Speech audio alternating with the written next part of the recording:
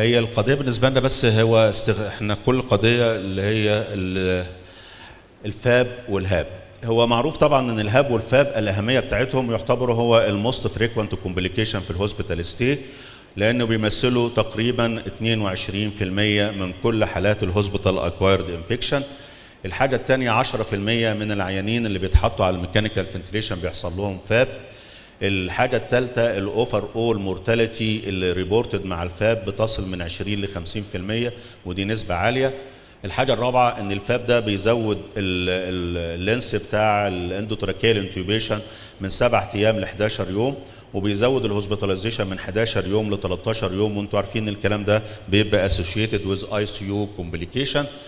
القضية تعريف ال ventilator associated pneumonia هو ال pneumonia اللي بتحدث بعد ال mechanical ventilation ب 48 ساعة ل 72 ساعة. وفي ال HAP اللي هو ال hospital acquired pneumonia اللي هو ال pneumonia اللي بتحدث بعد 48 ساعة من ال admission لل hospital وفي تعبير ثالث اسمه ICAP اللي هو ال pneumonia اللي بتحدث بعد ال admission لل ICU ب 48 ساعة.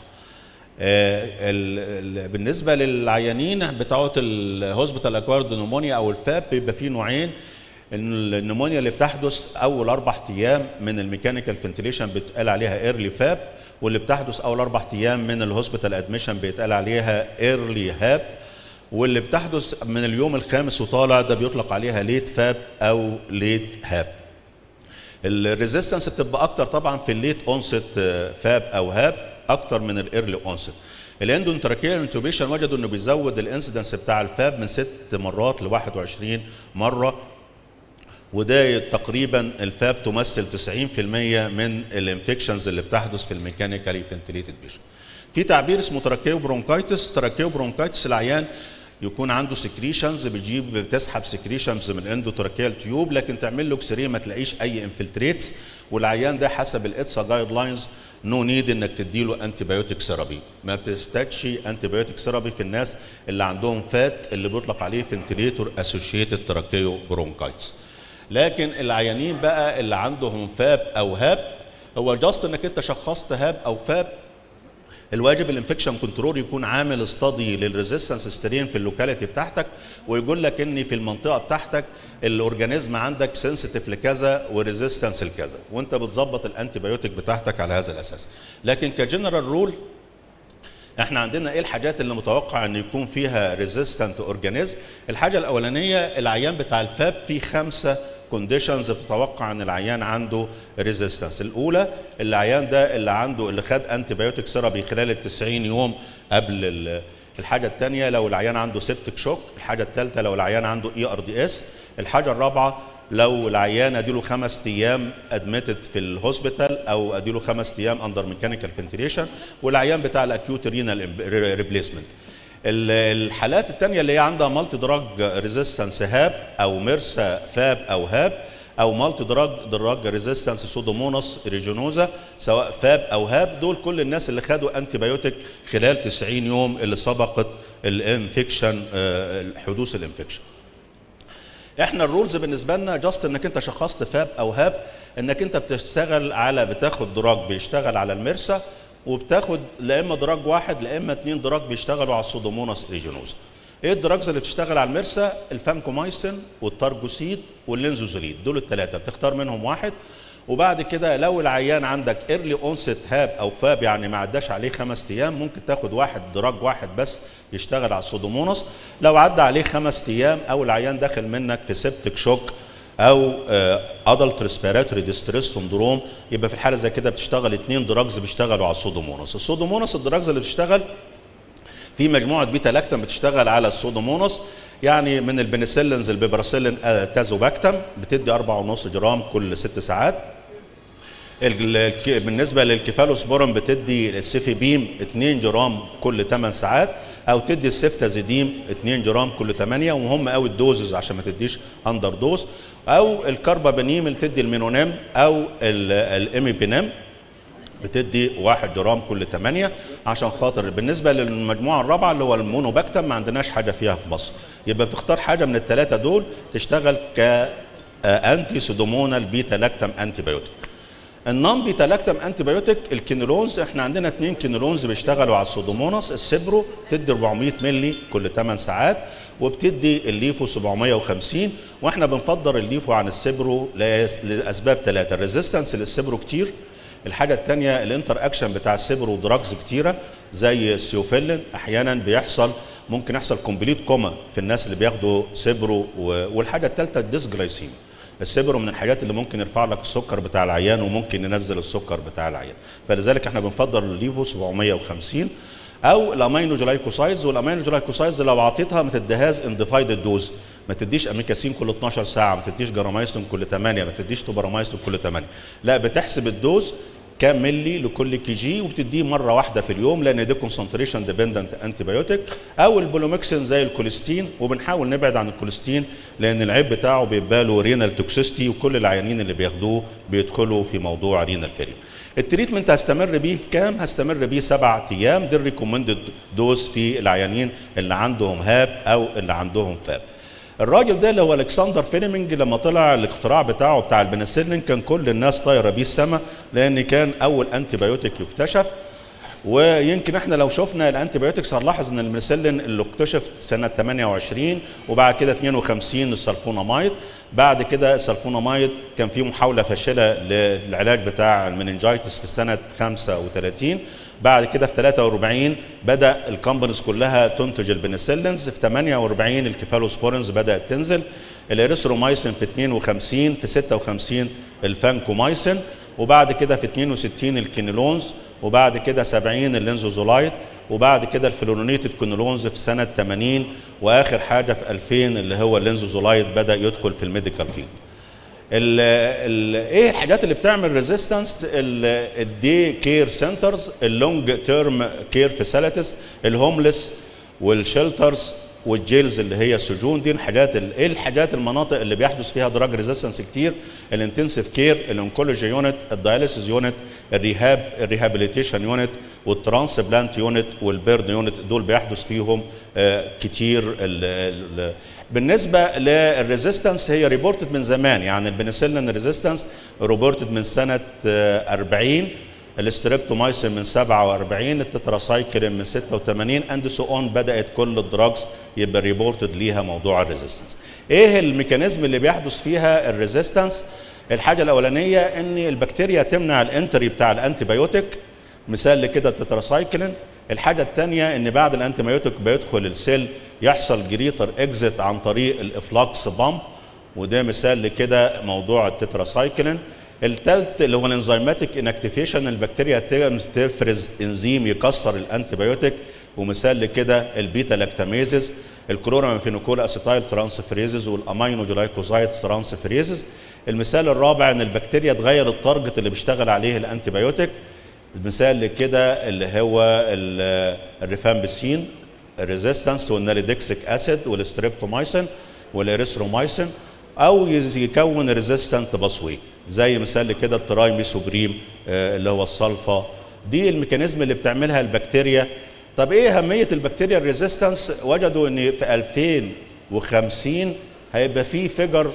للأسف الشديد ال mortality نتيجة لل antimicrobial resistance ستصل إلى 10 مليون. أكتر تقريبا من ال malignancy أكتر من ال diabetes أكتر من ال بعض ال diseases مجتمعة زي ال tetanus زي الكوليرا زي ال diarrhea فال antimicrobial resistance الحقيقة figure كبير وبيزداد مع مرور الوقت. طب إزاي بيحدث ال resistance أول ما بنشوف ال organism بيبقى فيه عندنا susceptible organism و resistant organism لو انت اعطيت concentration اللي هو ال C max بتاع ال antibiotic بتاعك فوق ال MPC اللي هو اختصار اللي هو ال mutant concentration ال mutant producing concentration في الحالة زي كده ما بيحصلش أي بتقدر بتقدر تكتل كل ال organism. لكن المشكلة لما تدي concentration ما بين ال MPC اللي هو ال mutant prevention concentration وما بين الام اي سي اللي هو ال minimal inhibitory concentration ده اسمه هو ده اللي بيعمل ال mutation وبيخلي في mutant organism وبيخلي في موضوع resistance فلذلك دايما اختار ال antibiotics اللي هي ال Cmax بتاعها عالي فوق ال MPC اللي هو ال mutant prevention concentration اللي بيحدث بالظبط إن بيكون عندك بكتيريا resistance اللي هي و susceptible ال resistance اللي هي البني وال resistance اللي هي الزرقاء. بعد كده بتدي antibiotic بيتقتل ال sensitive ويفضل عندك ال resistance بعد كده يزيد ال resistance ويبدأ يدخل مع ال susceptible ويعمل combination وده اللي بيؤدي إلى موضوع البكتيريا resistance في تعبيرات بدأت تتقال في حاجة اسمها MDR وفي حاجة اسمها XDR وفي حاجة اسمها PDR ال MDR اللي هو ال multidrug resistance بكتيريا معناها إن البكتيريا اللي عندها resistance at least 1 agent في ثلاثة أو أكثر من ال antibiotic group ال XDR اللي هو ال extended drug resistance في البكتيريا معناه إن البكتيريا عندها at least 1 agent resistance ل 1 agent في كل ال categories يا دوبك susceptible بس لواحد أو اثنين ال pan DR اللي هي بقى الأسوأ نوع من ال resistance اللي هي البكتيريا resistance لكل أنواع ال antibiotic هو ال non multi resistance اللي هي مقصود بيها إن ال isolate still sensitive at least 1 antimicrobial treatment في أقل من اثنين antibiotic categories أكتر بكتيريا بتعمل resistance هي ال Enterobacteriaceae وال Acinetobacter وال Pseudomonas aeruginosa وكلهم gram negative بكتيريا وهم في ثلاث أنواع في حاجة اسمها critical وفي حاجة اسمها high وفي حاجة اسمها medium resistance في natural resistance زي البنسلين اللي ما بتشتغلش على ال gram negative بكتيريا فدي بيطلق عليه natural resistance وفي acquired resistance نتيجه لل abuse بتاع ال antibiotic البكتيريا develop ال acquired resistance وبيحصل mutation لا إما في single step لا إما في multiple step وبيحصل موضوع changes في ال genes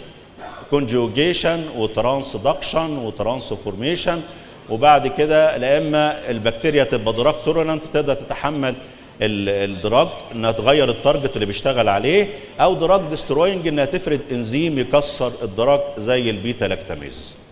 في drug impermeable إنها ما بتدخلش ال drug أصلا جوه ال cell وفي ال cross resistance زي الحالات لما بيبدأ عندنا ال beta-lactam resistance لو عيان عنده resistance لل penicillins طبيعي إن بيكون resistance at the same time لل cephalosporin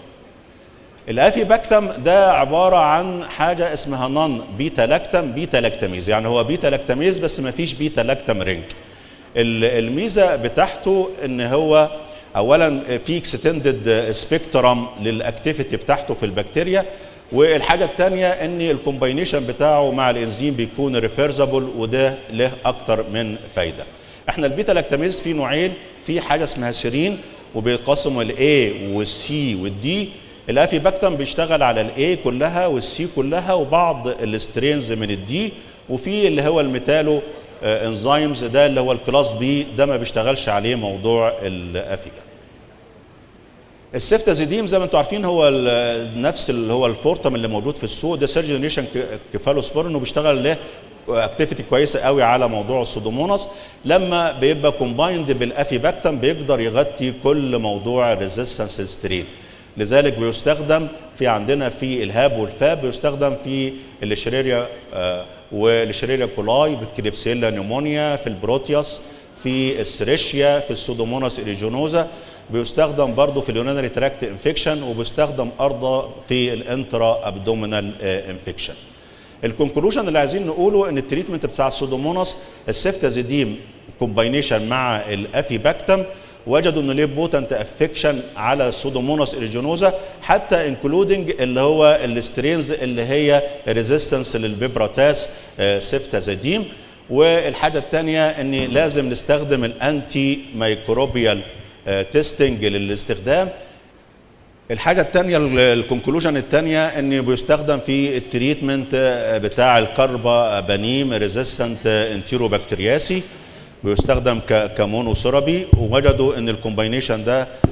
بيبقى effective والحاجة الثالثه ال conclusion الثالث إن ما نستخدمش مجموعة ال carbapenem في الناس اللي عندهم meropenem MIC أكتر من 4 مايكرو جرام لكل مليليتر. آخر حاجة العين عيان ياخد ال Zavicefta العيان بتاع اللي عنده severe disease في ال ICU زي ال severe sepsis زي ال septic shock زي ال HAP وال VAP. وزي العيان اللي خد antibiotic وما حصلش improvement خلال 72 ساعة الأولانية العيانين الثاني اللي هي ال fragility والعيان الثالث اللي هو ال probability ال fragility لو عندنا العيان عنده immunosuppression العيان عامل transplant العيان اللي عنده recent surgery